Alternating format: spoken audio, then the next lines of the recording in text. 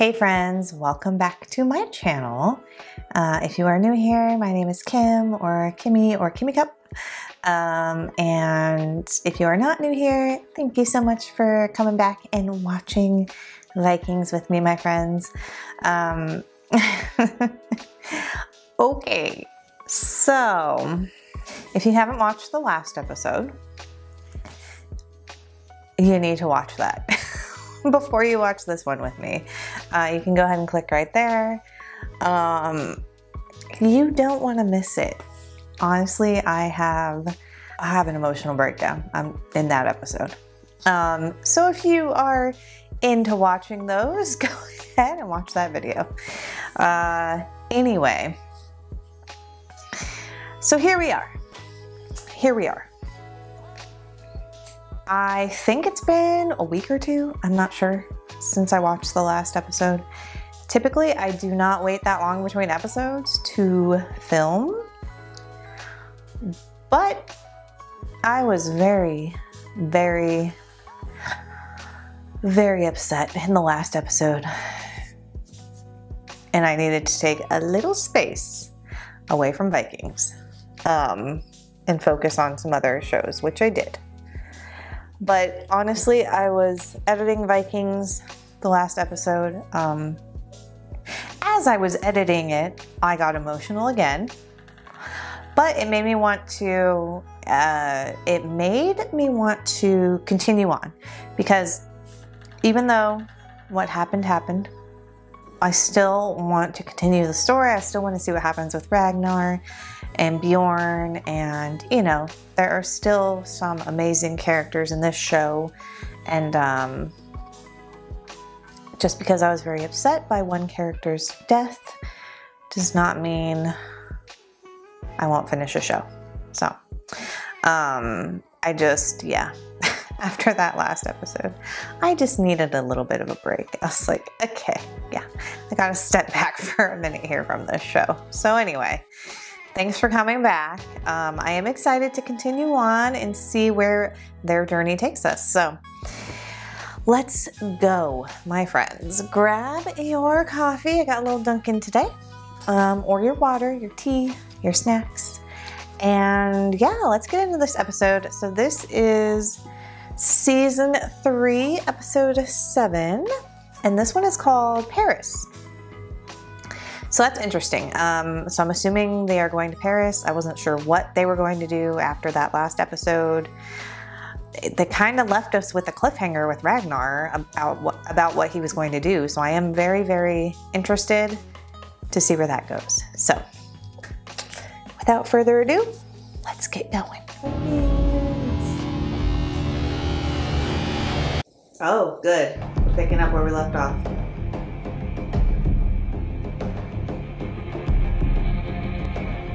Oh. Okay, he's staring right at Floki. I think he might know. Even though I don't think anybody else knows what he did. Because remember, he was very sneaky, like he made sure nobody saw him coming. But I think if Ragnar doesn't if Ragnar doesn't know for sure, he he definitely suspects.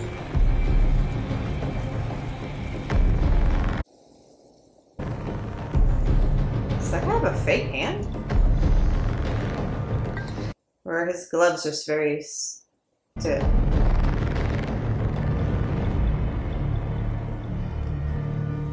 Here they come into Paris.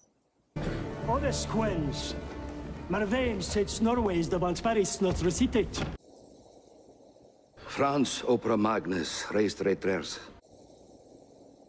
Simon Domus conflondre sed altri.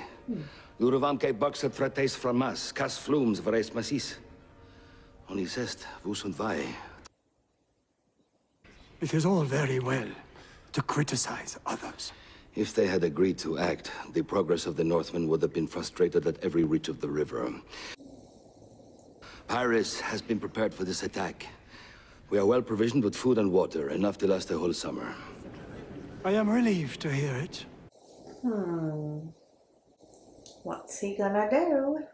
You must tell Count Odo that you have no intention of abandoning your people. That whatever happens, you will stay with them. Sorry, guys, I totally forgot to put this back on. Okay, that should be better now with the sound. I just realized I was like, where is my microphone? Defeat them, and I will be seen as a worthy successor. Oh, the little goat. so cute. I'm on a little goat. There's Mr. Rollo. I really, really want to know why they decided to kill off Ethelstan. I mean, there's so many other people they could have killed off.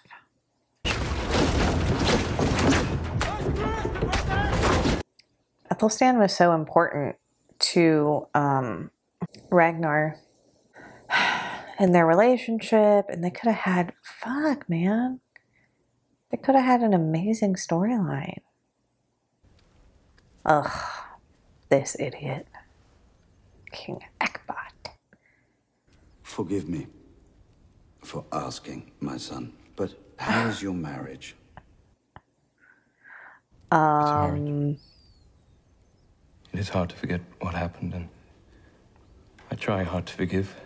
considering he let his wife's ear get cut off, I would say it's not too good. Aelle is your ally and your friend. Oh no, not my friend. I don't have any friends. Mm, what a magnificent boy. Ethelstan's son. I wonder how he is. Who? Athelstan. That name again. Why must you forever bring him to mind? So he obviously doesn't know Ethelstan is dead. Though I guess why would he, right? No, I'm honestly surprised that um they went to Paris. I really thought Ragnar would want to go to um, Wessex first to get his revenge on King Egbert for what he did to the settlement. But I'm sure he has a plan. You wanted to talk to me like that? I miss him. Mm-hmm. Athelstan. I wish he was here with us. Since you carry his cross, he still is here with us. He would have been He his. knows. We will manage without him. We have no choice now.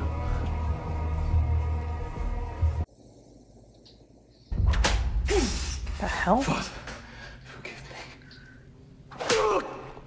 me. Ew. I must speak with the prince. Prince Aethelwulf? He's um, Prince Aethelwulf? punishing himself right now. You've interrupted the sacred. There is no excuse. There is one, my lord. Death waits for no man. Who's that? Who is this? You sent nobles with Queen Kwenthrith to look after our interests in Mercia. What happened to you? The Queen repudiated the contract she signed with us. She wants to rule alone.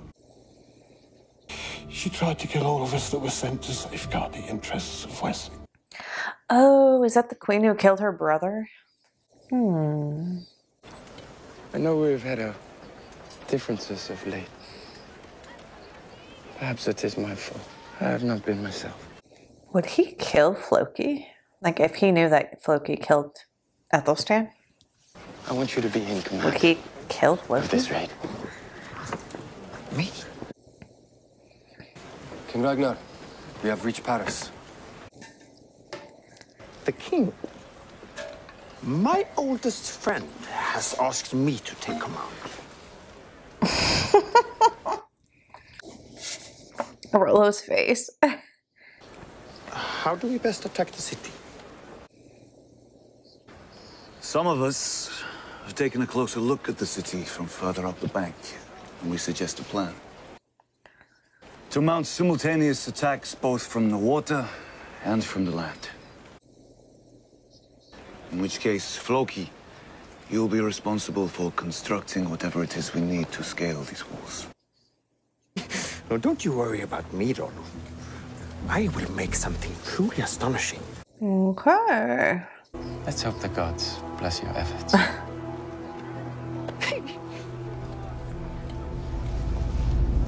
I think Ragnar's just putting him on. I feel like we haven't seen her in a while. How does her scar look? There, see? Please take care. Told you it would heal. Looks a lot better. Take my baby. Why? What are you talking about? I cannot care for her. I want her to be like your sons.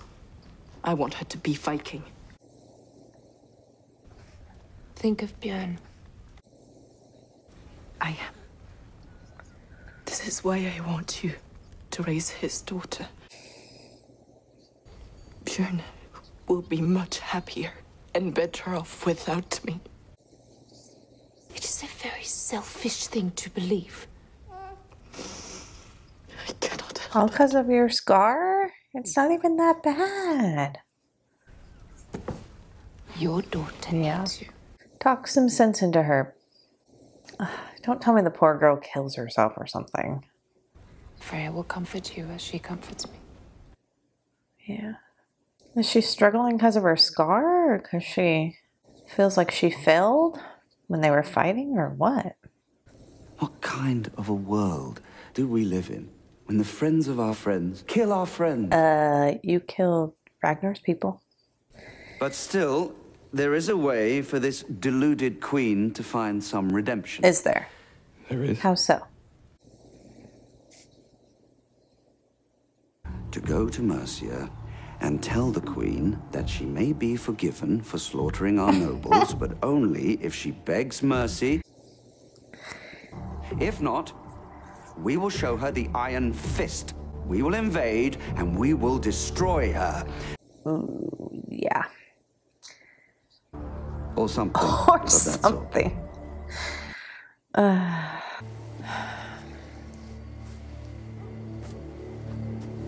what's Ragnar doing? Scoping out the place?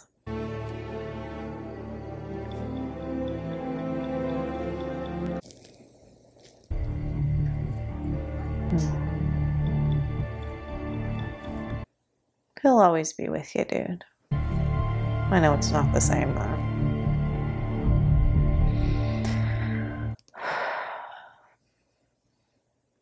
We must expect an attack any day now. Gisla, I regret not sending you to safety in time. I did not want to be sent away. I wanted to stay here with you. I like her dress. It's really pretty. You once refused my offer of marriage. Ugh. If you save Paris, I will forever be in your debt. Is that Helga? Does she know what Floki did? I have so many responsibilities now, Helga. My inventions will allow us to enter Paris. And then Ragnar will kill you. No, I don't know. I have no idea what Ragnar will do once he finds out.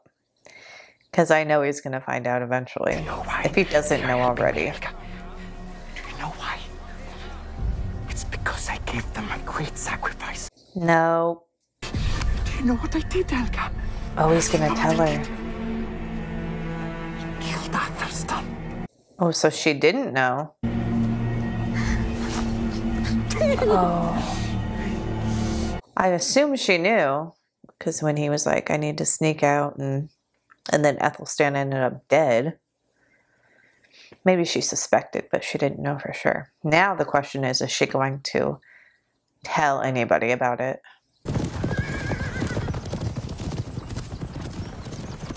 So beautiful.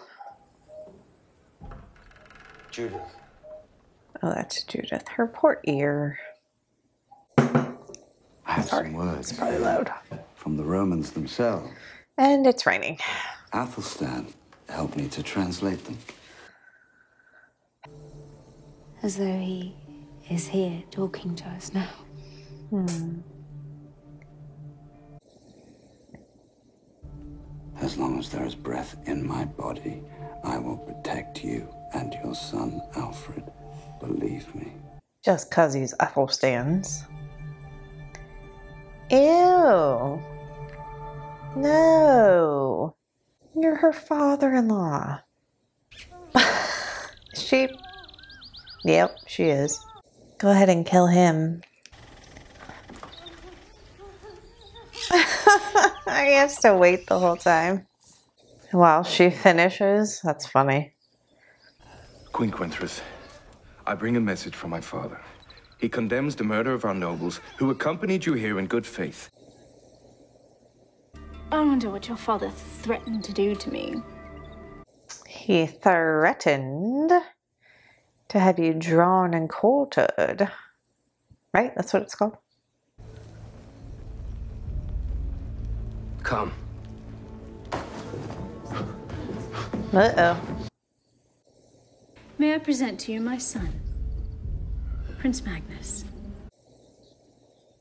Yes, he's named after his father. Is that Ragnar?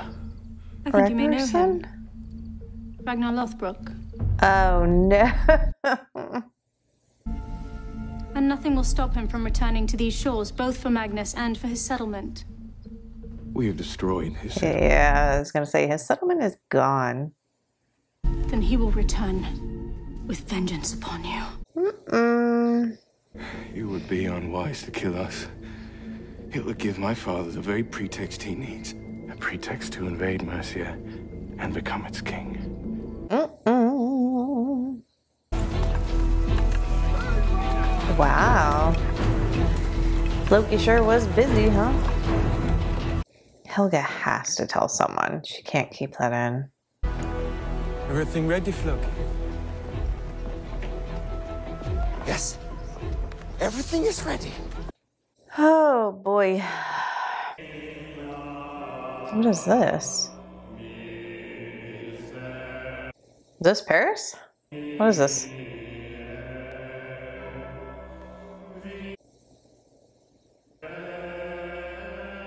Is that the princess? It looks like. That's a cool shot. Skjøgel! Skalvel! Skilder klovner!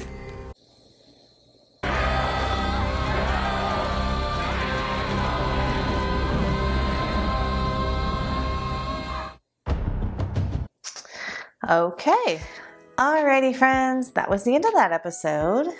Pretty good episode. Um, yeah, I wasn't sure how I was going to feel or what they were going to do um, after that last episode. Um, I wasn't sure if they were going to pick up right where we left off, which at first I thought we were because it kind of looked like um, Ragnar was in the same position with his head and cross and everything as they ended in the last episode, but it wasn't. That's fine. I am very surprised. mm, Maybe not very surprised, but yeah, I'm, I'm pretty surprised. I am. I'm pretty surprised that uh, they're attacking Paris. I know it was in the plans. I just thought that after uh, settlement news debacle and after Ethelstan passed away, or after he was murdered, I should say, um, that Ragnar would change his mind. And instead of going to Paris right away, he would go and seek revenge for the settlement. And um, yeah, I don't know. I I think he knows. He definitely suspects for sure. I want to say he knows, but if he doesn't know 100%, he definitely suspects that Floki killed Ethelstan. I just don't know what he'll do because I feel like he'll definitely do something. Uh, I mean, Ethelstan was like his his brother. I should say his brother. His brother is is Rollo, and I feel like they're not that close. But you know what I mean. Ethelstan was like I've talked about this before. His best friend, soulmate kind of thing, in a best friend way, um, brother brotherly way. I feel like And I could be wrong, but I feel like he loved Ethelstan more than Rollo. in a way, in a way. He did though. He loved him. He loved him. So I do feel like he will do something to Floki. I don't know what when he finds out because I definitely feel like he'll find out. And now that Helga knows for sure, I feel like she will tell she'll tell someone. I don't think she's going to keep that to herself. She might try to keep it to herself for a while because obviously she loves Floki, but I feel like the guilt will eat away at her eventually and she's going to have to tell somebody. She'll probably end up telling Aslaug, I'm assuming. I feel like because they're close and they talk to each other. And then if at that point Aslaug tells Ragnar, I don't know. But uh, the truth will come out. It always does. So it feels weird not seeing Ethelstan in the episode. It really does. Like when they were all standing there at the end, looking at Paris, um, I kept thinking like Ethelstan should be there. He deserves to be there. Yeah, I don't know. I still enjoyed the episode, but it just feels different. I don't know. I don't know. It was kind of the same way I felt like if you guys have watched The Walking Dead, it's kind of the same way I felt like after, by the way, spoilers if you haven't seen The Walking Dead. Anyway, just it, spoilers ahead if you haven't seen The Walking Dead. But anyway, it, I kind of felt the same way like after Glenn died. Um, like it just wasn't the same without him for a while. So I think it's going to take me a little while to kind of get back into it, feel as excited as I used to about watching it. Um, yeah, it's going to take me a little while, I feel like. But it was a good episode. Uh, I don't know about the whole Wessex Mercia thing going on. Um, that was really funny though that she kept him waiting while she was doing what she was doing. I thought that was pretty funny. Um, but yeah, I do not like Ethelwulf. I don't like him at all. And then poor Judith, God, she's stuck in Wessex with a husband that is an asshole and just hates her now. Now he hates her. Her ear is chopped off, and now she has her father in law. It seems like now she has her father in law, like, trying to go after her. I don't know. It seemed kind of weird between them. Like he was like hitting on her a little bit. I don't know. I could be reading that wrong, but he did kiss her. And I'm like, I don't know. That was that was weird. So I think I'll end it here. Um, yeah. I hope you enjoyed watching with me. Uh, I am excited to see the next episode and see how Paris goes and the raid and, you know, see what happens with that. Um, and I am excited to see how things progress with uh, Ragnar and Floki. So I don't know. I want to see if Helga tells anybody in the next episode. Why do I have a feeling it's going to be like the last episode of this season that Ragnar's going to find out for sure, like 100%. And then he's going to do what he's going to do. I don't know. That's my prediction. No spoilers. Okay. I will see you next time, my friends. If you want to watch these with me in full, unedited, uh, go ahead and check out my Patreon. And um, that's it. Thank you for watching. I'll see you next time. Bye, friends.